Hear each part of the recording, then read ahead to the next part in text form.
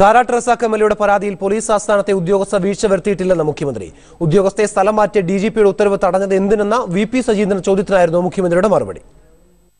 സാറേ Koduvally M L A Shri Karat Razak തന്റെ ജീവന് ഭീഷണി ഉണ്ടെന്ന ശബ്ദരേഖ സഹിതം ഡി ജി പിക്ക് നൽകിയ പരാതിയിന്മേൽ കാലതാമസം വരുത്തി യഥാസമയം നടപടി സ്വീകരിക്കാത്ത ഉദ്യോഗസ്ഥയെ സ്ഥലം മാറ്റി ഇപ്പോഴത്തെ ഡി ജി പിയുടെ നടപടി സർക്കാർ ഇടപെട്ട് നടപ്പിലാകാതിരിക്കാനുള്ള കാരണം എന്താണ്?